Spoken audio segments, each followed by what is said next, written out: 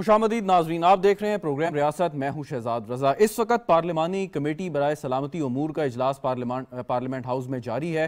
तकरीबन एक सौ पच्चीस अफराद को दावत दी गई है जिसमें senators M N As ministers government officials और कुछ आ, पार्टी सरबराहान अगरचे वो इलेक्टेड नहीं भी हैं लेकिन फिर भी उनको मदू किया गया है कि वो आएँ और आला अस्करी क़्यादत इस वक्त उनको ब्रीफ कर रही है मुख्तलिफ़ अहम कौमी सलामती अमूर पर। वज़ी अजम शहबाज शरीफ की जेर सदारत ये इजलास ये जारी है इस वक्त पार्लियामेंट हाउस में और जो बुनियादी इस इजलास बुलाने का मकसद है कि आपकी सियासी क़्यादत को बताया जाए कि इस वक्त मुल्क मुल्क को अंदरूनी और बैरूनी किन चैलेंजेस का सामना है। ख़ास तौर पर जो मुजाकर हो रहे हैं, तहरीक तालिबान पाकिस्तान से हमारे इदारों के, वो किस नतीजे पर पहुँचे हैं, उनकी क्या डिमांड्स हैं और सियासी क़्यादत किस तरीके से इसको सपोर्ट कर सकती है? हमने देखा कि सानिया ए पी एस के बाद सारी सियासी जमातें जिसमें पाकिस्तान तहरीक इंसाफ भी शामिल थी, वो इकट्ठे हो गए और उन्होंने एक चार्टर बनाया कि जिसके नेशनल एक्शन प्लान बनाया, जिसके तहत कार्रवाई की गई उन तमाम दहशतगर्दों के खिलाफ कई ऑपरेशन लॉन्च किए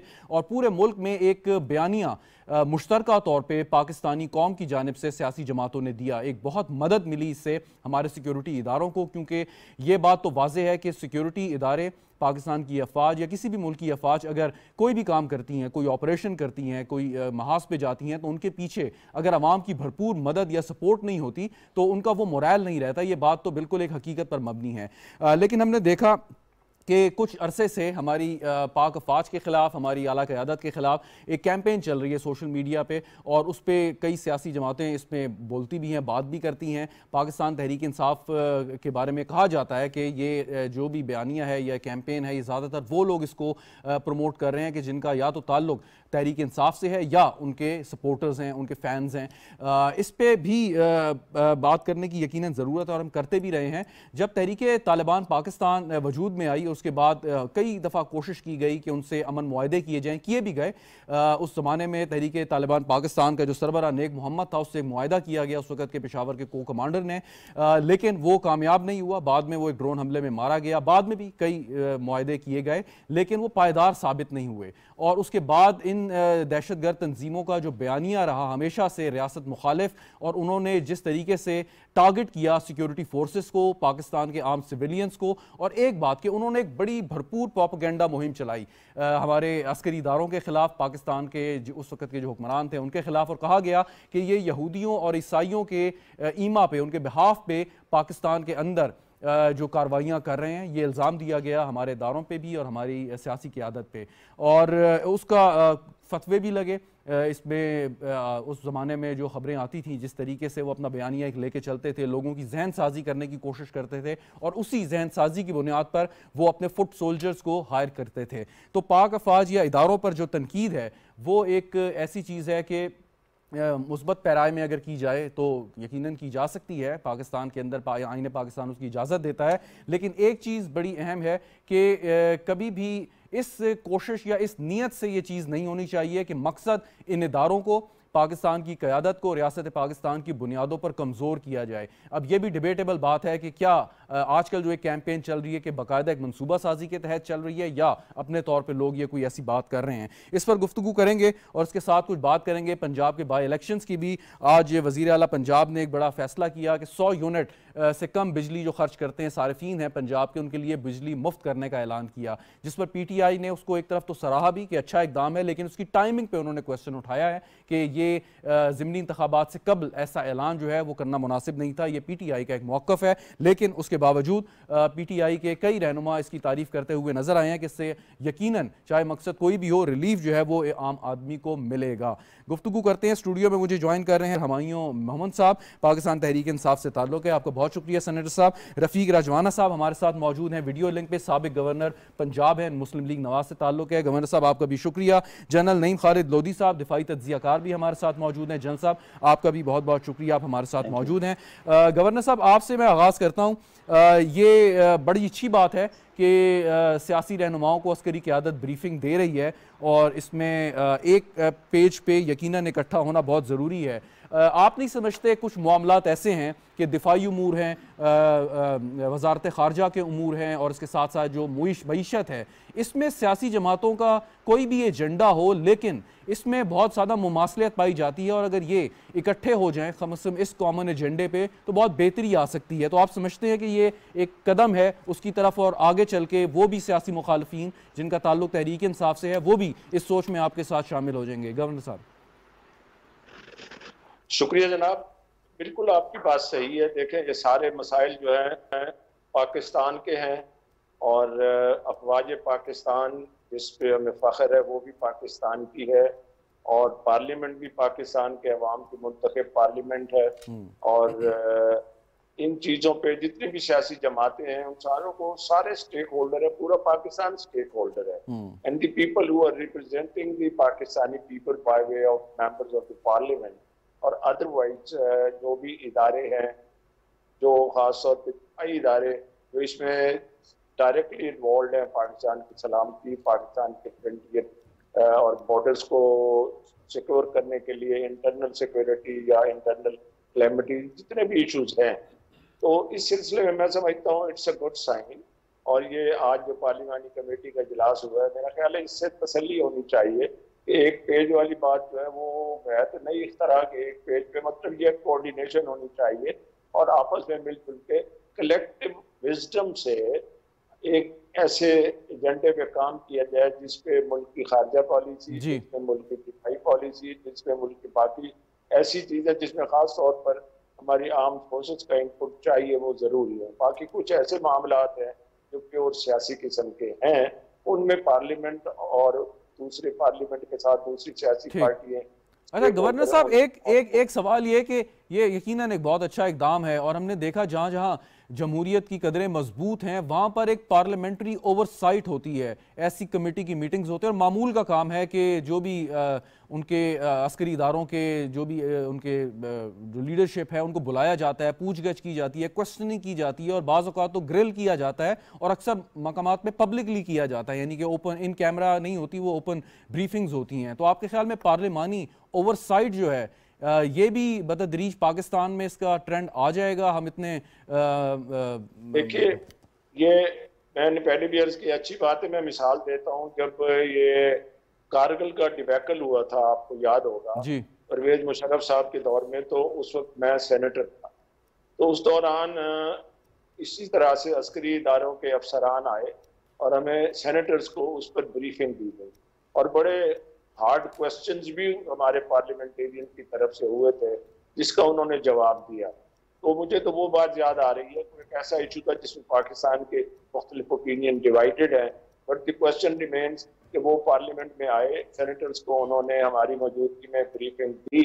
हमारे जहनों में बड़े क्वेश्चन थे which we put to them तो आज की जो पार्लिमानी कमेटी की मीटिंग हुई है ये भी बड़ी अच्छी बात है कोई कलेक्टिव हम्म। विजडम वाली बात है ताकि किसी को एतराज़ गुंजाइश ना हो और मिलजुल के देखें ये मुल्क कोई एक सियासी पार्टी चलाने के काबिल नहीं हो सकती उस तरीके से ऐसा तरीके से जबकि सारे ऑन बोर्ड हो भले कोई अपोजिशन पे हो भले कई बेंच पे हो कोई भी हो और अदरवाइज़ इनपुट किसी भी थिंक टैंक से मिल सके पाकिस्तान के लिए कलेक्टिव एफर्ट हमारी फॉरेन पॉलिसी की हमारे की हमारी monetary policy physical policy economy everything can be looked up बिल्कुल ठीक। सेनेटर साहब आप जब 2014 में जब धरना आपका एक चल रहा था और उसके बाद मामला आपके आगे चले, आपने काफ़ी लंबा धरना दिया, उसका ख़त कंक्लूजन ये हुआ कि जब साने आईपीएस हो गया, आपको याद होगा। और आपने बहुत अच्छा एक पाकिस्तान तहरीक इंसाफ का उस वक्त फ़ैसला था कि सियासी जमातों को इकट्ठा होने की ज़रूरत थी। तो ये जो इशूज़ हैं, आजकल भी तहरीक तालिबान से मुजाकर चल रहे हैं तो इन मुजाकर में पाकिस्तान तहरीक इंसाफ की इनपुट भी बहुत ज़रूरी है कि आप एक बहुत बड़ी जमात हैं आगे आपने इलेक्शन में हिस्सा लेना यू नेवर नो कि आप दोबारा जीत के इकतदार में भी आ सकते हैं। सो ये इससे बाहर रहना जो है, ये आपके ख्याल में कोई मुनासिब है कि आप ज़रूर अच्छा ना होता कि तहरीक इंसाफ की नुमाइंदगी भी वहाँ होनी चाहिए थी? बिसमीम देखिए, बात यह है कि आप उस जमात से पूछ रहे हैं कि जिन्होंने मेरे लिहाज से ज़्यादातर फ़ैसले जो किए हैं, जो कौमी नोयत के हैं, वो हमेशा अच्छे के हैं, जिसमें मुल्क के फ़ायदे की बात थी। जैसे आपने इसका ज़िक्र किया हम लोगों का एक मौक़ था जो हमारा पॉलिटिकल मौक़ था। हमने उसको पसे पर्दा डाल के हम लोगों ने इन ऑर्डर के पाकिस्तान को ज़रूरत है हम लोगों ने उस पर डिसीज़न लिया और धरना ख़त्म किया। इसी तरीके से जब ये जो हमारा लॉन्ग मार्च था उसमें जब आ, इमरान खान ने देखा कि जब पीटीआई के वर्कर्स और दूसरी तरफ़, चूँकि ये लोग तो डर डरा के हट गए थे, इन्होंने सब कुछ फौज के हवाले कर दिया था आर्टिकल 245 के तहत कि भाई तुम आके कर लो। तो जब उन्होंने देखा दूसरी तरफ़ फौज है और इन दो के दरमियान में क्लैशेस हो सकते हैं, उन्होंने विड्रॉ कर दिया। अब बात आ जाती है, आप उस शख्स की बात करें कि जिस, जो हमेशा से इस बात पे बिलीव करता था कि तालिबान के साथ या किसी भी लड़ाई में आप फोर्स ना करें, आप डिस्कशंस करके उनके साथ कर लें और जिसकी बेसिस पे सारे लोग उसको 20 साल से सारे लोग उसको, तालिबान खान कोई क्या कोई क्या कोई क्या कहते रहता था। लेकिन he always believed in a vision कि यार, ये लड़ाई वाले मसले नहीं है, इनको बैठ के हल कर लो और वो चीज़ें। अब हम इसमें क्यों नहीं है? उसकी एक, मुझे नहीं पता, मुझे इस बात का नहीं मालूम कि इनविटेशन थी या नहीं थी आई एम श्योर होगी, लेकिन प्रॉब्लम यह है, पीटीआई इस वक्त इस गवर्नमेंट को तस्लीम नहीं कर रही। वो इसलिए तस्लीम नहीं कर रही कि जैसे आज फिफ्थ जुलाई है और आज से काफ़ी साल पहले इस दिन एक ऐसे प्राइम मिनिस्टर को हटाया गया था जिसने अमेरिका की गुलामी करने से इनकार किया था। आज उसी तरीके से, अभी उसी तरीके से एक और प्राइम मिनिस्टर को जिसने कहा है कि हम लोगों की जो फॉरेन पॉलिसी है, वो आज़ादाना होगी, वो पाकिस्तान के लिए होगी, वो किसी की गुलामी के लिए नहीं होगी। हम किसी की डिक्टेशन नहीं लेंगे और जैसे उस वक्त हेनरी किसेजर ने कहा था we'll make an example out of you court होता है कि नहीं होता? उन्होंने क्या कहा था कि अगर इस इमरान खान को या पीटीआई की गवर्नमेंट को ना हटाया तो हम आपसे एग्ज़ाम्पल बनाएँगे। सो so, मेरे लिहाज से तो ये सारी चीज़ें कठी और आप देखें कि उसके खिलाफ है। तो हम अनफॉर्चुनेटली जैसे उस वक्त मैं मैं एक कंपैरिजन बता रहा हूँ। उस कंपैरिजन के लिहाज से अगर आप देखा जाए तो ये पीएमएलएन जियाउलक के साथ आई थी ना ये उसी सोच के साथ की है। इन्होंने एग्जैक्टली exactly वही काम किया सिर्फ़ फ़र्क ये है कि उधर जियाउलक फ्रंट में था इधर नवाज़ शरीफ फ्रंट में। अच्छा सवाल सुन लें अब सवाल ये है कि जो मुजाकरात की बात है आपके ख्याल में मुजाकरात इसी सही सिमत में चलते रहने चाहिए और कोई कंक्लूजन उनको कौमी धारे में शामिल करना चाहिए? पार्टी की पॉलिसी क्या है इस हवाले से? ये देखिए बात ये हो जाती है कि आपने दो चीज़ें देखनी होती हैं। अगर फ़र्ज़ करें जब हम पाकिस्तान के इन लोगों ने पाकिस्तान के ख़िलाफ़ बहुत सारे जो तहरीक तालिबान पाकिस्तान है जिन लोगों ने किए हैं आप उनको कर ले आपके पास एक लिस्ट है। मतलब हमारी जो जो एजेंसीज हैं और जनरल साहब आई एम श्योर उसके ऊपर लाइट देंगे वो दुनिया की बेहतरीन एजेंसियों में से जो हमारी इंटेलिजेंस एजेंसीज हैं और एक नहीं है बहुत सारी हैं। उनके पास लिस्ट होगी कि यार ये टॉप के हंड्रेड बंदे हैं मोस्ट वांटेड है इन्होंने ये जुल्म किया वो जुल्म। लेकिन उनमें बहुत सारे ऐसे भी लोग होते हैं जो किसी ना किसी बहकावे में या किसी ना किसी वजह से उस तरफ़ चल पड़ते हैं। हम्म। ठीक है? आपने उनको सेपरेट करना है सेग्रीगेट करना है। आपने जो लोग जेन्यनली एक गलत रास्ते पर चल पड़े थे उनको जो गलत तरबियत या गलत कोई या कोई कोई एक नैरेटिव गलत दिला के उसको चला दिया आपने उनको अलग करके उनको आपने एक सेफ़ पैसेज देना है चाहे वो आप थोड़ी सजा दें चाहे आप किसी लिहाज से करके और उनको उस तरफ़ से करने जो आपके ऐसे लोग हैं जिन्होंने कोल्ड ब्लडेड मर्डर्स किए या जिन्होंने इस किस्म के काम किए या जो डिसीज़न मेकर्स थे आप उनको उस तरीके से भुगत लें।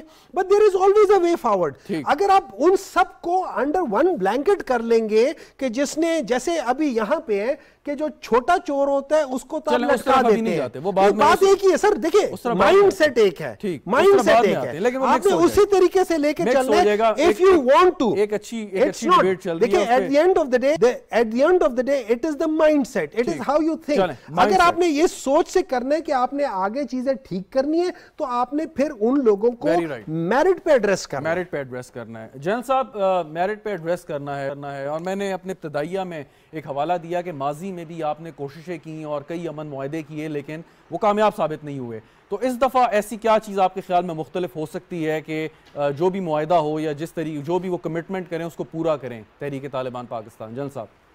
जी बहुत शुक्रिया। आ, बहुत फ़र्क है और मैं इस पर आता हूँ। पहले मैं समझता हूँ कि बहुत अच्छी जमहूरी रवायत है जिसको जारी रखना चाहिए कि जितने भी अहम फैसले हैं उनको पार्लियामेंट में लेकर आना चाहिए और पार्लियामेंट में डिबेट होनी चाहिए और पॉलिटिकल ओनरशिप होनी चाहिए और तभी ये फैसले देर पा साबित हो सकते हैं। दोनों भाइयों ने बड़ा अच्छा कवर किया रजवाना साहब ने भी सेनेटर साहब ने।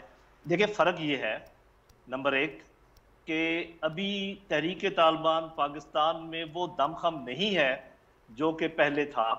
हम्म। इस पर मैं ज़्यादा लंबी बात नहीं करता। नंबर दो अफगान हुकूमत जो है वो उसने वादा किया है दुनिया से कि हम अपना सॉयल इस्तेमाल नहीं होने देंगे वो प्रेशर भी उनके ऊपर है हम्म। और तीसरी बात ये कि जो लोग इसको बहुत फाइनेंस कर रहे थे इसके लिए प्लानिंग करते थे अफ़गानिस्तान में बैठकर मैं रॉ की बात कर रहा हूँ वो लोग भी वहाँ मौजूद नहीं है कहीं और हैं ज़रा दूर है उससे फ़र्क पड़ता है चौथी बात कि इस दफ़ा जो मुजाकरात हैं वो जिरगे के लोग कर रहे हैं और उनको आगे किया हुआ है जो कि तमाम रवायात समझते हैं एक दूसरे की।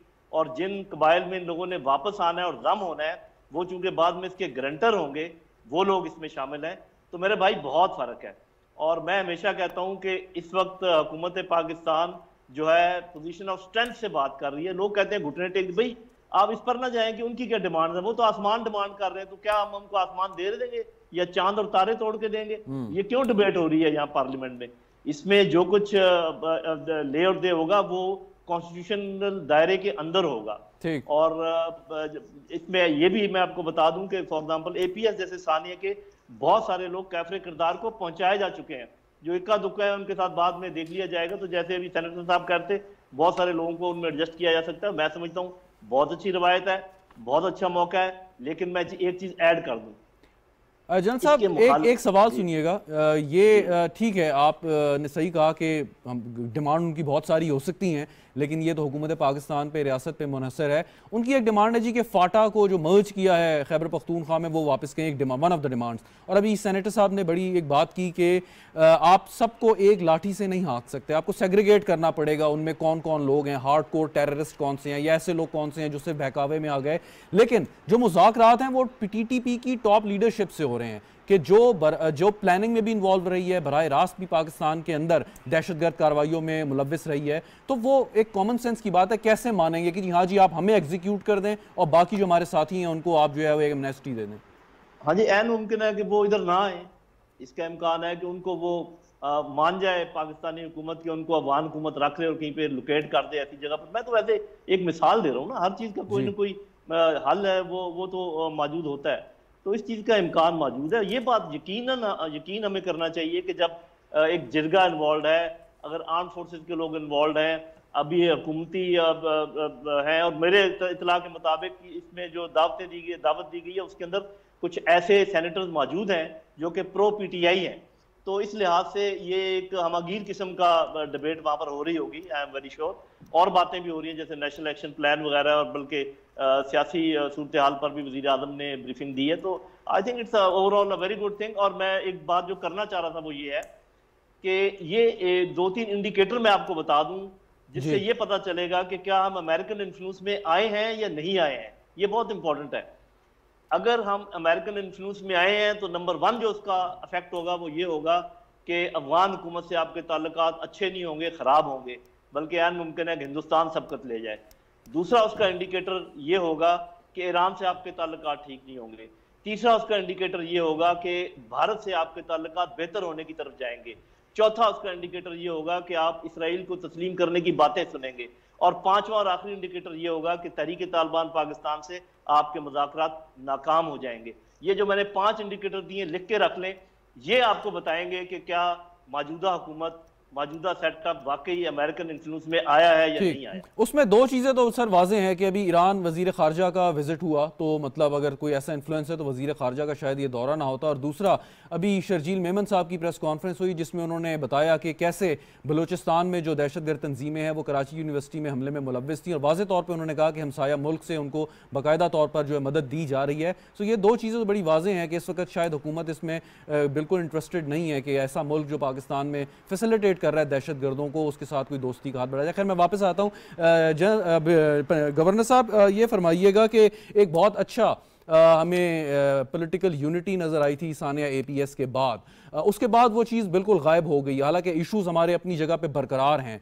तो पाकिस्तान तहरीक इंसाफ बावजूद इसके कि आपकी बदतरीन सियासी मुखालिफ है, लेकिन साथ साथ उनकी एक हकीकत है, वो अपना एक वोट बैंक भी रखते हैं, उनके सेनेटर्स हैं, सूबाई असम्बली उन पर के पी में हुकूमत उनकी है। तो आप मतलब कम अज़ कम इस हद तक जो कोऑपरेशन है, वो होना नहीं चाहिए। बावजूद इसके कि पी टी आई अगर उसको इनकार भी करे, रिफ्यूज़ करे, आपकी जानब से जेस्टर तो मुनासिब या पॉजिटिव जाना चाहिए। बात आपकी बड़ी अच्छी बात है। सबसे पहले ये गुजारिश करूँगा कि मैं गवर्नर था अब मुझे गवर्नर साहब कह रहे हैं कि मेरे खिलाफ सुमो मोटो का मुतालबा ना हो।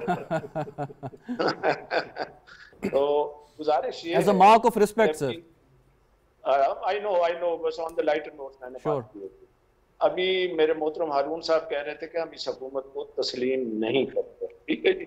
और उस बात को मैं आपके सवाल से जोड़ता हूँ। जो आपने कहा कि सियासी इख्तलाफात के बावजूद देखें, जहाँ भी जमहूरियत होती है, जिस सतह पे भी होती है, वहाँ पे अपोजिशन जो है, वो एक ऐसा लाजमी जुज्व है डेमोक्रेसी का और पार्लियामेंट तो मेरी नज़र में अपोजिशन इमरान खान साहब, बतौर लीडर बतौर पॉलिटिकल पार्टी उनकी, उनके मौजूद मेम्बरान सेनेट उनके जो इस्तीफ़ा दे गए, तमाम चाहे सूबाई असम्बली में कोई बैठे हुए हैं उनके वो काबिल एहतराम है दे आर इलेक्टेड पीपल अब सवाल ये पैदा होता है कि जहाँ larger interest of the country is involved वहाँ पे हम अपनी जाती चीज़ों को भूल के और एक टेबल पे बैठना चाहिए। हम्म। भले ये हमारे दोस्त तस्लीम नहीं करते मगर इस वक्त जो कमेटी की मीटिंग हो रही है क्या सिर्फ़ हुकूमत कर रही है? क्या सिर्फ़ मुस्लिम लीग नून कर रही है? तेरह जमातों के मेंबरान की जो है ना मुश्तमिल पार्लियामेंट है। ठीक है जी, आज बहुत अच्छा होता है। इमरान खान साहब एक बड़े मौसर किस्म के अपोजिशन लीडर पार्लियामेंट में बैठे होते तो बात यह मुल्क की सालमियत की बात हो रही है और टीटीपी के हवाले से, अफ़गानिस्तान के हवाले से गुफ्तु हो रही है और बाकी इम्पोर्टेंट इशू हैं। तो क्या इसमें अपनी ज़ाती, सियासी मुखालफत को कौन सच्चा है कौन झूठा है कौन किस पे इल्ज़ाम लगाता है उस बात को एक तरफ़ रखते हैं। आज जिस हवाले से जो मीटिंग हो रही है मेरा ख्याल है हमें सियासी इख्तलाफात का ज़िक्र करना भी नहीं चाहिए। ठीक है जी? तो मैं ये समझता हूँ it was the highest time that had Imran Khan been the in the parliament had he been the leader of the opposition तो आज अपना इनपुट ज़रूर देना चाहिए आज यकीनन गवर्नर साहब यकीनन देना चाहिए था और होना चाहिए। बहरहाल ये उनकी एक सवाबदीद है। एक बात यह कि भारत के साथ ताल्लुकात पे सियासत भी होती है पाकिस्तान के अंदर और इसके साथ जो बात भी की जाती है मुस्लिम मुस्लिम लीग नवाज़ पे इल्ज़ाम भी लगते हैं कि शायद उनकी भारत नवाज़ पॉलिसी माजी में रही है। मैं चाहूँगा इस पर ज़रा आप इजहार ख्याल ज़रूर करेंगे इस वक्त जो जी मैं एक वक्फा मुझे कहा जा रहा है गवर्नर साहब मुझे एक ब्रेक लेनी है ब्रेक के बाद नाजरीन दोबारा हाजिर होंगे ब्रेक लेते हैं ब्रेक के बाद हाजिर होते हैं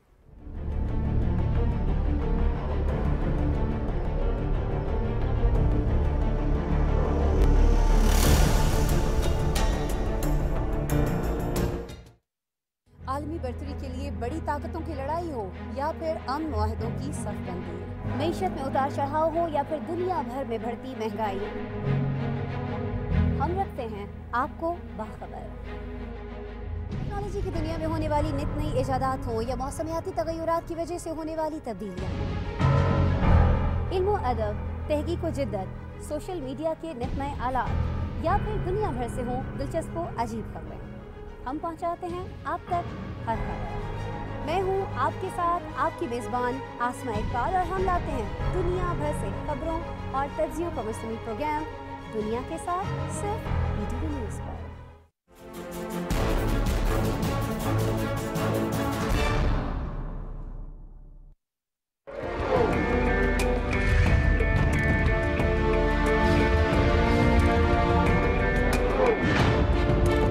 इंसाफ और मसावत मेरे रहनुमा उसूल हैं और मुझे यकीन है कि आपकी हिमायत और ताउन से इन उसूलों पर अमल पैरा होकर हम पाकिस्तान को दुनिया की सबसे अजीम कौम बना सकते हैं।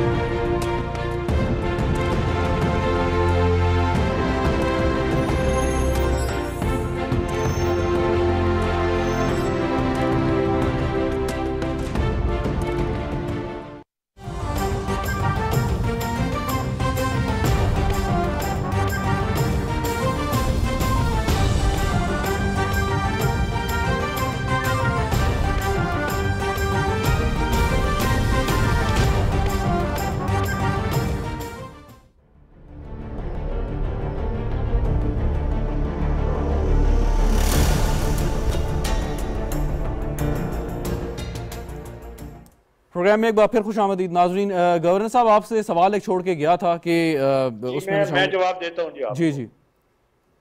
भारत नवाज़ की बात की ना जी? जी भारत के साथ। इस वक्त क्या पॉलिसी है और जो इल्ज़ाम लगते हैं? देखिए पाकिस्तान के साथ दोस्ती भारत की जो है उसका बेसिक उसमें डिस्प्यूट है कश्मीर। जब तक कश्मीर कश्मीर का मसला अकवा मुतहदा की करारदादों के मुताबिक और इस्तवाब राय कश्मीरियों के मुताबिक हल नहीं होता उस वक्त तक हिंदुस्तान से हमारे ना ही दोस्ती हो सकती है ना नॉर्मल हालात हो सकते हम्म। हैं। मगर साथ साथ आप ये देखिए कि हमारे ऊपर भारत नवाज़ दोस्ती की बात की जाती है। कौन सी भारत नवाज़ दोस्ती है? वैसे मुल्क हैं हमसाए हैं तो जो इशूज हैं उस पर तो इशूज पे खड़े हैं। मसलन चाइना की और हिंदुस्तान की सरहदी तनाजे चाइना बिलियंस ऑफ़ डॉलर्स की ट्रेड कर रहा है। ठीक है जी? तो मैं ये समझता हूँ, अब उस पर भारत नवाज़ वाली बातें करें तो सियासी कई निकल आती हैं कि मोदी जीतेगा इलेक्शन फलान जीतेगा, मगर वो फजूल बातें हैं। उस पर हमें टाइम नहीं ज़ाया की करना चाहिए। हम अलहमदिल्ला हमारा ये पैनल बड़ा मेच्योर है और they are very sincere and patriot people मैं ये कहूँगा कि भारत की बात तो मैंने कर दिया सूदी तौर पर, जब तक कश्मीर का मसला तय नहीं होता। मगर जब दुनिया में आप डिप्लोमेटिक रिलेशन है हमारे दुनिया में छोटी मोटी कोई बात हो जाती है मुलाकात हो जाती है तो उसको आप ये ना सोचें कोई भी नहीं सोचना चाहिए। हमारे लोग जो है ना वो इतने चार्ज के हैं naturally they are suppose to कि अगर हिंदुस्तान के किसी लीडर से कोई सलाम ले ले और कोई पॉलिटिकल पार्टी जो अपोनेंट है उसको एक्सप्लॉयट करना चाहे पीपल फॉलो देम ठीक है जी? तो बड़ी सोच विचार से इस मामला को देखना चाहिए अफ़गानिस्तान के इशू को आप लेकिन आप समझते नहीं गवर्नर साहब के बड़ा चैलेंजिंग है इस वक्त पे खारजा अमूर को आप लोगों के लिए देखना कि पाकिस्तान तहरीक इंसाफ अमेरिका पर इल्ज़ाम आयद कर रही है कि उन्होंने कोई साजिश की है उनकी हुकूमत के ख़िलाफ़। और ज़ाहिर है कि इस वक्त अमेरिका एक रियलिटी है सुपर पावर है उसके साथ सफारती ताल्लुक भी हमारे हैं अच्छे हैं बुरे हैं अलग डिबेट है। लेकिन इस चीज़ पर जब हम बात करते हैं कि सफारती अमूर पर सियासी जमातों का जो है वो आ, हम ख्याल होना ज़रूरी है तो फिर ये कैसे आप इसको आगे लेके चल सकते हैं कि एक बड़ी सियासी जमात? जी। देखिए एक बात यह है कि इसको इस तरह से देखें कि पार्लियामेंट में अदम एतमाद आई जिस हवाले से साइफर की बात की जाए ठीक है वो साइफर जो है हमारे वासिद साहब थे कौन थे? असद मजीद साहब। हाँ, हाँ असद साहब उन्होंने एक लेटर लिखा जी ऐसी बात हुई है ठीक है जी? अब किसी ने ये नेशनल सिक्योरिटी कमेटी की भी मीटिंग हुई इस पर बहस अच्छा नहीं तो सर सॉरी आपकी बात काट रहा हूँ माजरत के साथ आपकी बात काट रहा हूँ। इस डिबेट में जाए बगैर कि वो सही है गलत है उस पर अलग चले तो- जाएँगे। तो सिफारती ताल्लुक निकल रहा था। जी सुने इससे निकल रहा था ना मैंने कहा इसको छोड़े इस डिबेट को मैं खुद जा रहा हूँ इसका कोई फ़ायदा नहीं है। सवाल ये है कि क्या can be remain in isolation diplomatic relation हम इतने खराब कर सकते हैं। मैं पर्सनली आपको कहता हूँ कि जब सुप्रीम कोर्ट में ये केस चल रहा था नो कॉन्फिडेंस का शाह महमूद साहब मेरे दोस्त हैं, वो हम इकट्ठे सुप्रीम कोर्ट में होते थे तो वन साइड सेट टू जब ये चल रहा था साइबर का और सारा कुछ मैंने कहा, Makhdoom Sahab we should draw a line in diplomatic relation उस हद तक लाइन ड्रॉ कर ले, जहाँ तक के हालात खराब ना हो, हमारे तल्लुक खराब ना हो। तो मैं ये समझता हूँ कि अमरीका से ताल्लुक खराब करके हम वेस्ट के साथ अपना दुनिया नहीं चला सकते। बट एट सेम मोमेंट ये भी ज़रूरी नहीं कि हम रशिया से बिगाड़ लें रशिया से ताल्लुक ना रखे। हम्म। इस वक्त बड़ा बहुत ही एक डिप्लोमेटिक तरीका चाहिए। ब्लंटली कोई बात पब्लिक पे ऐसी बात नहीं कहनी चाहिए जिसका इम्पैक्ट बहुत बुरा हो। और कल ही मैं आज के नुमाई वक्त में खबर आई है हाउ इट इज़ करेक्ट कि नए जो अमरीकी सफीर आए हैं उन्होंने डिनाई कर दी ऐसी कोई बात। नहीं भारत अपनी जगह पे है। मगर हमारे मुल्क की ज़रूरत है कि डिप्लोमेटिक रिलेशन हमें पहले से रखने चाहिए बिल्कुल सही। सेनेट सेनेट मैं मैं वापस आता हूँ सर आपकी जानब। सेनेट साहब आप कुछ कहना भी चाह रहे हैं एक सवाल भी मेरा साथ सुन लीजिएगा कि जैसे कुछ पाकिस्तान के क्रिटिकल फॉरेन इश्यूज़ हैं भारत के साथ ताल्लुक इसराइल का मामला उसकी बार बार बाजगश्त होती है या अमेरिका के साथ आजकल जो ताल्लुक हैं ईरान के हवाले से।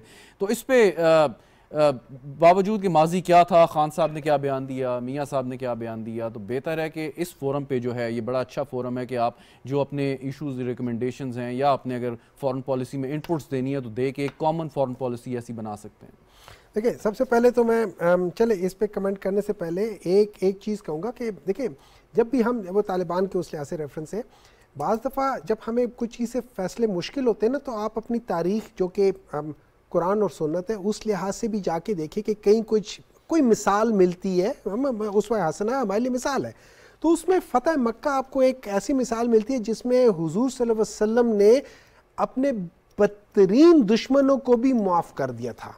ये ज़रूर कहा था कि हिंदा को मेरे सामने मत लाना कि उसने मेरे चचा का कलेजा चबाया था। तो बाज़ दफ़ा आपको एक्स्ट्रा ऑर्डनरी स्टेप्स लेने पड़ते हैं in order to do that thing बाकी जो जो हमारे इंस्टीट्यूशन हैं they are in a very good position to decide whatever they want to decide and I think it will be mainly their decision political उनको backup चाहिए होता है कि यार ये हम कर रहे हैं, क्या ठीक है या नहीं है. And I am sure more of the political parties would do that thing coming to your question. अच्छा उससे पहले एक छोटा सा कमेंट जो आप कह रहे थे कि ये जो जो इंडिया और पाकिस्तान के रिलेशनशिप्स के लिहाज से, देखिए, दो बड़े इंपॉर्टेंट इवेंट्स हुए हैं हिस्ट्री में, कि जिसमें, जिस वक्त मियाँ नवाज़ शरीफ साहब प्राइम मिनिस्टर थे वो इंडिया गए थे उन्होंने हुरियत मेंबर से मिलना नहीं मिले थे। उसके बाद फिर इनकी और रशिया में इनकी और मोदी साहब की एक मीटिंग हुई थी जिसमें उन्होंने कश्मीर का इशू रेज नहीं किया था उस पर बात नहीं की थी जिसकी वजह से मैं ख्याल में टू था कब, कब की बात है कि उसमें जो 96 या इसमें उसमें हुरियत कॉन्फ्रेंस वाले जो थे उन्होंने पाकिस्तान के उसमें आने से इनकार कर दिया था केक कटिंग सेरेमनी में आने से इनकार कर दिया था because it hurted their issue their cause अब आपने जो बात की है कि जो कि क्या ये अच्छी चीज़ नहीं है देखें कायद आज़म ने जब पाकिस्तान बनाया उन्होंने लिंक कर दिया कश्मीर को आ, इस ये सॉरी उसको, ये पैलेस्टीन को इसराइल के रिकग्निशन के साथ कि जब तक पैलेस्टीन का हक नहीं हो जाता, आप उस वक्त तक ना करें। So as far as Imran Khan ने उसने ये साफ़ कह दिया, कर दिया। नंबर टू इमरान खान ने बड़ी ज़बरदस्त बात की। उसने कहा अगर हमने पैलेस्टीनियन, अगर हमने इसराइल को एक्सेप्ट कर लिया तो वो क्या कर रहे हैं? वो पैलेस्टीन के ऊपर जुल्म कर रहे हैं, उसने कब्जा किया हुआ है। बिल्कुल उसी तरीके से जो इंडिया ने कश्मीर पे किया हुआ तो हम इन मतलब वे हमारा हमारा हमारा आर्गुमेंट कमज़ोर हो जाएगा हमारा आर्गुमेंट खत्म हो जाएगा कश्मीरियों का कॉज ही खत्म हो जाएगा। ठीक। So how can you possibly go in that way आप उसकी बात कैसे कर सकते हैं? तो कौन जा रहा है? इसमें मैं कह रहा हूँ जा रहे हैं उस पर डिबेट कैसे हो सकती है? इस जगह पे आके वो कह देते इंग्लिश में पीरियड। बात खत्म। अच्छा लेकिन एक सवाल एक सवाल है आपका प्रिंसिपल जी गुजारिश सुन लीजिए। प्रिंसिपल गुजारिश सुनिएगा कि एक सवाल है। हाँ चाहे इसराइल को तस्लीम करने का मामला हो चाहे भारत के साथ ताल्लुकात बहाल करने का मामला हो चाहे और बिल्कुल कंट्रोवर्शियल क्रिटिकल इशूज हो फॉरन पॉलिसी के हवाले से। ये इन कैमरा ब्रीफिंग है। वो मेमरान मौजूद हैं जो अंडर ओथ हैं मिलिट्री लीडरशिप दे रही है। आपकी जमात को भी आज़ाद कश्मीर के वजी अजम रिप्रेजेंट कर रहे हैं। तो ये तो बड़ा ज़बरदस्त फोरम है कि कम अज़ कम डिबेट पर तो पाबंदी ना हो। आप इस किस्म के सेशन में जो इन कैमरा है पब्लिक नहीं है उसमें आप डिबेट करें सवाल करें क्या रुकावटें हैं क्या फवायद हैं क्या नुकसान होंगे तो डिबेट तो आप खत्म नहीं करनी चाहिए। उधर सारे पाकिस्तानी बैठे हुए जी बिल्कुल। ठीक है ना? हमारा मौकफ इन प्रिंसिपल पता चल गया है। देखिए लोग कहते हैं कि जी फलाने मुसलमान मुल्क ने भी इसराइल को एक्सेप्ट कर लिया उस मुसलमान मुल्क ने भी कर लिया।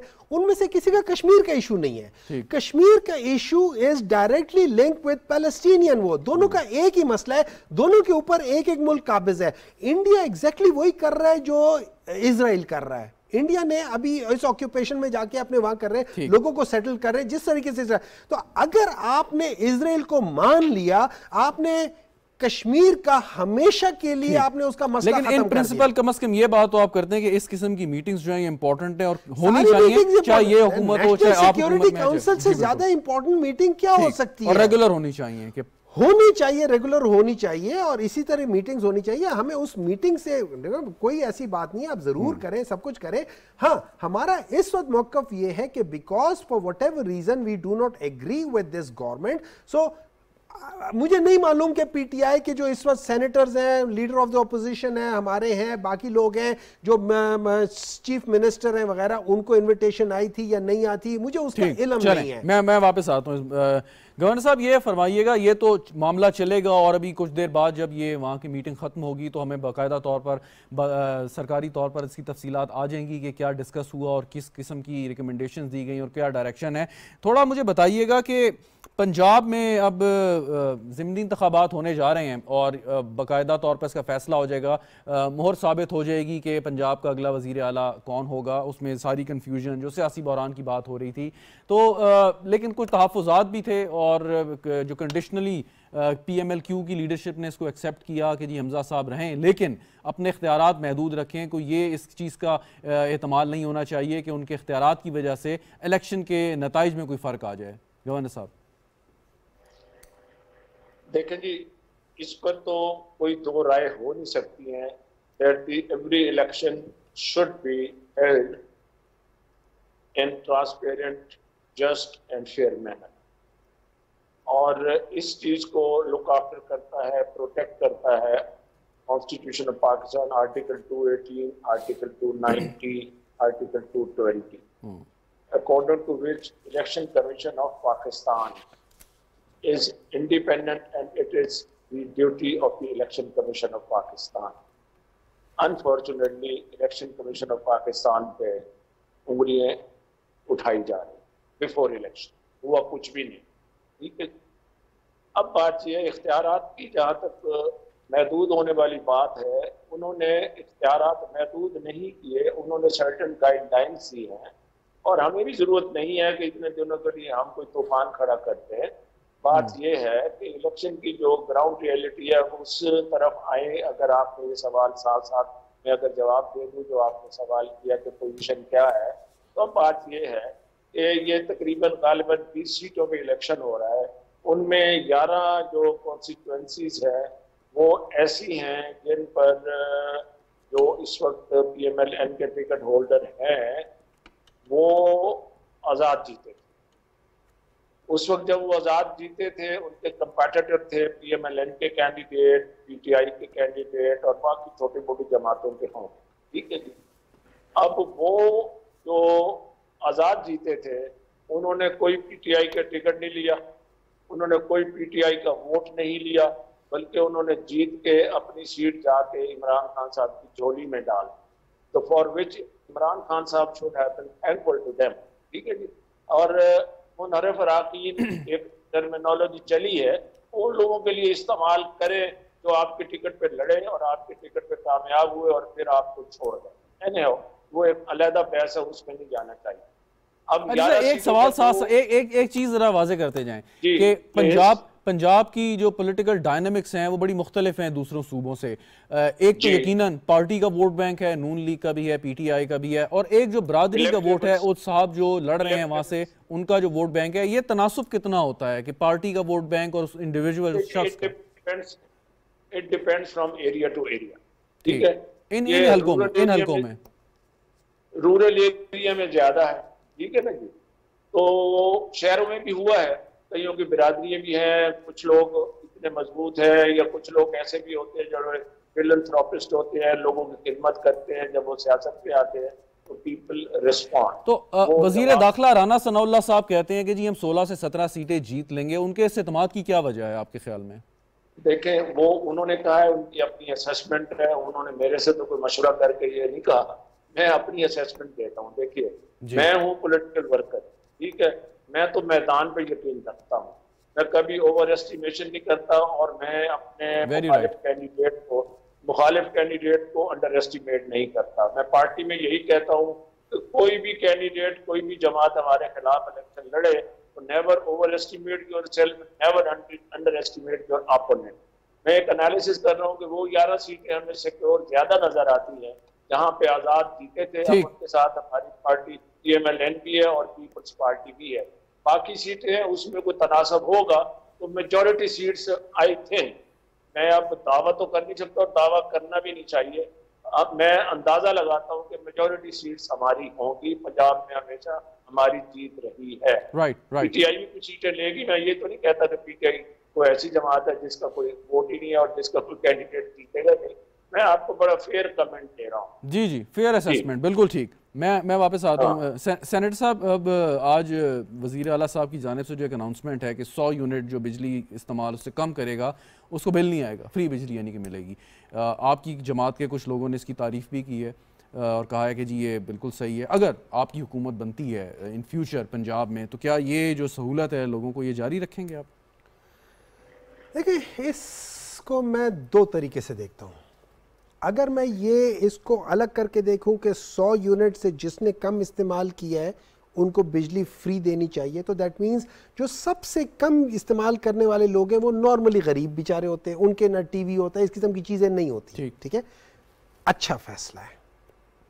ऑन मेरिट अच्छा फैसला है। प्रॉब्लम कहाँ है? प्रॉब्लम ये है कि सुप्रीम कोर्ट ने कहा है कि भाई अम, ना तो इस सबसे पहले तो एज ऑफ़ नाउ जो हमजा शबाज है he is not an elected chief minister वो कायम मकाम कायम मकाम चीफ मिनिस्टर वो इस वक्त केयर टेकर के लिहाज से है। कैसे? क्योंकि इस वक्त इलेक्शंस तो हुआ नहीं है इलेक्शंस तो हो रहे हैं ना। अभी तो इलेक्शंस हुआ नहीं है वो सारी चीज़ें उन्होंने सुप्रीम कोर्ट ने अपने ऑर्डर में ऐसा कोई उन्होंने कहा- उन्होंने कहा- केयर टेकर या इंटरिम नहीं है उनके जराजमाना ठीक है। उन्होंने ये कहा था सर ये नहीं एक मिनट सर मैं- और सिर्फ़ कहा कि जो ठीक है ठीक है। उन्होंने उन्होंने कहा था कि पोल या इन्होंने रीपोल है जो इलेक्शन है वो 22 को उन्होंने कहा उन्होंने कहा है आप कोई डिसीज़न चेंजेस नहीं कर सकते। उन्होंने कहा है कि आप कोई फाइनेंशियल या कोई डेवलपमेंट फंड्स के बारे में नहीं कर सकते। अब इन्होंने सबसे पहले, एक दिन पहले, एक रात पहले मरियम नवाज़ ने कहा अपने उस हल्के के जलसे में कि कल हमजा शहबाज एक बहुत बड़ा फैसला देने वाले। अगले दिन इन्होंने फैसला दे दिया। तो मुझे तो ऐसा लगता है कि ये तो कुड़क होने से पहले ही जबा होने वाले हैं। नहीं लेकिन अगर चलें अगर इस देखिए अगर- this अगर is- आपका ये देखिए ये आपका तौहीन अदालत का केस बन रहा है। तो ये तौहीन अदालत का केस बन रहा है। गुजारिश सुन लीजिए कि सुप्रीम कोर्ट ने वज़ीर अला के इख्तियार पर कोई पाबंदी एक तो आयद नहीं की। आपके जो चीफ मिनिस्टर के उम्मीदवार हैं परवेज इलाई साहब उन्होंने जाके वहाँ एडमिट किया या उन्होंने तस्लीम किया ठीक है जी हम तैयार हैं इनको कंटिन्यू करें और बाईस तारीख को इलेक्शन होगा। गुजारिश ये गुजारिश ये कि अगर आपकी बात मैं तस्लीम भी कर लूँ मान भी लूँ जो आप बात कर रहे हैं लेकिन इससे अल्टीमेटली बेशक आपकी वजह से फ़ायदा तो गरीब आदमी का नहीं नहीं देखिए देखिए बात गरीब और उसके अमीर की नहीं इधर वो नहीं है कि फ़ायदा किसको है किसका है। एक टाइमिंग है आपने अच्छा हम हमारा ख्याल ये है कि इन्होंने ये इस वजह से सबसे पहले तो बिजली जो देता है वो फेडरल गवर्नमेंट से आपने वो करना होता है। आप कर नहीं सकते हो, ये आपके इख्तियार में नहीं ये आपके इख्तियार, दायरा इख्तियार से बाहर है। आपने जो जो उनको दे रहे हैं, वो आपके इख्तियार की बात नहीं है। आपने इसके ऊपर पूरे फाइनेंस इसमें, वापदा, इसमें सब चीज़ों से बात कर कर के हर एक से करने के बाद तब आपने बताने का हाँ ये हो सकता है। और फिर अगर हो सकता है तो why in Punjab only why not in KP why not in तो- एनी ये तो sir hold on hold on नहीं नहीं होल्ड ऑन ये देखिए बात चीज़ें देखिए बास चीज़ों के ऊपर जो बास चीज़ों के ऊपर होता है ना बिजली का जो बिल बढ़ रहा होता है ये फेडरल से जा रहा होता है ये ठीक। प्रोविंशियल नहीं करता बास चीज़ें फेडरल है बास चीज़ें वो हैं। तो आप उसको जरा वो आज- तो इसके पीछे सबसे पहले होल्ड ऑन इसके पीछे नीयत साफ़ नहीं थी इसकी टाइमिंग गलत है। ये उसी इलाके में हो रहा है। ये सीधा सीधा जो जो जो सुप्रीम कोर्ट के हुए और इलेक्शन के जो जो वो होते हैं इलेक्शन कमीशन के उसके ये खिलाफ वर्जी है। इनके ऊपर अच्छा, ना सिर्फ़ है तोहीन अदालत है इनको टोटली कर लेना चाहिए। मैं मैं मैं अगर इसमें पैराडॉक्सेस निकालना चाहूँ तो कई निकाल सकता हूँ मैं नहीं चाहता कि अगर पाकिस्तान तहरीक इंसाफ ने इक- इकतदार के आखिरी दिनों में जो पेट्रोल की कीमत कम की वो क्यों कम की? क्या कैसे कम की जिस पर नून लीग आप पर आप पर इल्ज़ाम लगाती है कि लैंड माइंस बिछा के उससे कथा नज़र उससे कथा नज़र। आप कहते हैं कि जी केपी में भी होना चाहिए तो केपी केपी में आपके चीफ मिनिस्टर हैं वो भिजवा सकते हैं कर नहीं सकते। देखिए ये कहने की बात है सिर्फ़ ये हो नहीं सकता। ये आपके मैं आप अभी मुझे कहते कि हुमायूं मैं तुम्हें फलानी जगह पे प्लॉट अलॉट करता हूँ। और भाई आपके होने से कुछ नहीं होगा जब तक सीडीए वगैरह पूरे। वो नहीं होगा। बिल्कुल तो ये बेसिकली उन गरीबों को बेवकूफ़ बनाने वाली बात है सिर्फ़ और सिर्फ़ इल्ज़ाम सिर्फ़ नहीं, आप नहीं, पे- नहीं, आप देखिए पे ना, नून लीग आप लगाया करती थी या दीगर जमातें। ठीक है ना आपने जो तो फैसला किया, नून लीग को डिफेंड करने वाले जो है उनको बोलने दे आपने बनाया, नहीं हमने नहीं बनाया। हमने उनको ये फरवरी के शुरू में पीटीआई ने अनाउंस किया था। और मार्च के एंड तक मार्च के एंड तक ना डॉलर गिरा ना डॉलर बढ़ा और ना थोड़ी कमी। पैसे आप- गिरे कुछ भी नहीं हुआ था एवरीथिंग उसी तरह जिस। वक्त ये लोग आगे की बात एक्सपर्ट ओपिनियन में ले लूँ। आबिद कयूम सिलेरी साहब साथ मौजूद हैं माशी तजियाकार बहुत शुक्रिया सर आपको ज्वाइन करने का। ये एक बात हो रही थी कि जो सौ रुपए यूनिट से कम बिजली इस्तेमाल करेगा उसको बिजली फ्री होगी जो वज़ीर अला पंजाब सौ यूनिट से कम जो होगा वज़ीर अला पंजाब का जो फैसला है। अच्छा फैसला है तहरीक इंसाफ के भी कुछ लोग ये बात कर रहे हैं लेकिन सियासत से कर। रहे हैं मैं सिर्फ़ ये जानना चाह रहा हूँ कि ये कितना in the longer run workable है ये जो फैसिलिटेशन है ये लोगों के लिए? से कता नज़र जो इशू आएगा हुकूमत को, वो आईएमएफ के साथ आएगा।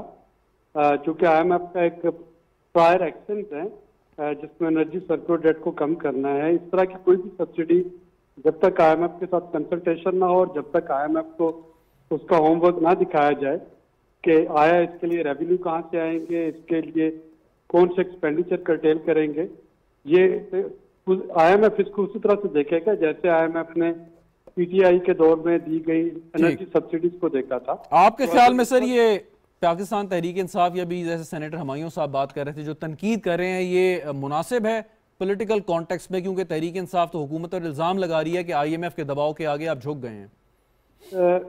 ये वाला जो जो, जो मैं दोबारा दोहराता हूँ जो मेरा मौकफ है क्योंकि सियासत मेरा सब्जेक्ट नहीं है वो दो मोजज आपके मेहमान हैं वो ज़्यादा बेहतर इस पर बात कर सकते हैं। मैं सिर्फ़ आपको ये कह रहा हूँ कि ये जो अनाउंसमेंट है, ये डूएबल और प्रैक्टिकेबल नहीं है आईएमएफ इसको नहीं मानेगा। और ये जो आईएमएफ के साथ स्टाफ लेवल एग्रीमेंट होने जा रहा है, ये इसको फर्दर डिले का सबब बनेगा। अल्टीमेटली ये पैसा वापस लेना पड़ेगा। बहुत शुक्रिया आबिद कयूम सिलहरी साहब हमारे साथ मौजूद थे। रफ़ीक राजवाना साहब, अब ये गुफ्तु आपने आबिद साहब की भी सुनी हमायूं साहब भी बात कर रहे थे कि एक तो ये टाइमिंग इसकी ऐसी है कि इसको लिंक कर दिया जाएगा ज़मनी इंतबात से, और प्रैक्टिकल ये मुश्किल हो जाएगा। आईएमएफ के सामने जब जाएँगे, वो कहेंगे सौ अरब रुपए आप किस, कैसे जनरेट करेंगे जो आप ये लोगों को इस तरह की सहूलत दे रहे हैं? गवर्नर साहब। लेकिन इसके इसके दो इशूज हैं। पहला इशू जो मेरे मोहतरम सेंटर हमायूं साहब ने फरमाया ना बात यह है कि सुप्रीम कोर्ट के ऑर्डर की कॉपी जो है इस वक्त मेरे दफ्तर में मौजूद है, उसमें कोई इख्तियार चीफ मिनिस्टर के इख्तियार पर कदगन नहीं लगाई गई। सिर्फ़ यही है कि मिलजुल के आप काम करेंगे, बल्कि उन्होंने तीनों जमातों की तारीफ़ की कि इन्होंने कंसेंसस से ये रीच आउट कर लिया। ठीक है जी? जहाँ तक रही डेवलपमेंट के कामों की इस बिजली के अनाउंसमेंट की तो इलेक्शन लॉ के मुताबिक जिन हल्कों में काम हो रहा है? वहाँ पर कोई डेवलपमेंट या कोई इंसेंटिव हो तो उस पर तो बात की जा सकती है। जहाँ पे इलेक्शन नहीं हो रहा पाकिस्तान पंजाब में कितने हल्के हैं उसमें से बीस हल्कों पे सिर्फ़ इंतखाब हो रहा है। बारिंग कॉन्सिक्वेंसीज अभी तो ये सत्रह जुलाई को है दस बारह दिन तो सिर्फ़ रह गए हैं ना जी। तो इसको इम्प्लीमेंट होते भी टाइम लगेगा। तीसरी बात जो बड़ी इम्पोर्टेंट है इसको पॉलिटिकल नज़र से ना देखें। इसको बेनिफिशरी की नज़र से देखें who will be the beneficiaries ठीक है ना? हर हुकूमत चाहे पीटीआई की थी या किसी की हो वो ट्राई करती है और खास तौर पे आजकल के क्राइसिस के दौर में तो इस वक्त गवर्नमेंट ने जो है वो अपना कोई ना कोई अपना नहीं इन प्रिंसिपल तो वो तारीफ़ कर रहे हैं इस फैसले की कि ये बहुत अच्छी बात है कि गरीबों को सहूलियत दी जा रही है। लेकिन वो कह रहे हैं तो प्रैक्टिकल कितना मुमकिन है और दूसरी बात टाइमिंग की बात। देखिए वो जो सुलेरी साहब ने बात की आईएमएफ की बात की उस पर मैं इस वक्त कुछ कहने से कासिर हूँ क्योंकि ये प्रोविंशियल सब्जेक्ट है फॉर आईएमएफ कैन इंटरफेयर तो मेरी नज़र में ये है कि ये प्रोविंशियल सब्जेक्ट है और जो तो फेडरल बजट है उसमें उन्होंने कोई इतराज करना होगा या कोई बात होगी करनी होगी but in then subject to जो सुलेरी साहब ने बात की है ये एन एक्सपर्ट स्पीड मैं ये समझता हूँ कि सौ अरब की जो सब्सिडी है और वो वाप, अपना वाप, वापटा को या डिस्पोज को जो डिस्ट्रीब्यूटिंग कंपनीज़ हैं मेप्को है लस्को है बहुत गवर्नर साहब जी वक्त वक्त वक्त वक्त प्रोग्राम का जरा खत्म हो गया आपकी माजरत आपकी बात कर रहा हूँ। बहरहाल बहुत शुक्रिया आपके वक्त देने का आबिद कयूम सुलहरी साहब आपका भी शुक्रिया। सेनेटर हवाइयों साहब थैंक यू सो मच आप भी हमारे प्रोग्राम में तशरीफ़ लाए। तो आपने सुनी प्रोग्राम देखने का शुक्रिया। इजाज़त दीजिए खुदा हाफिज़।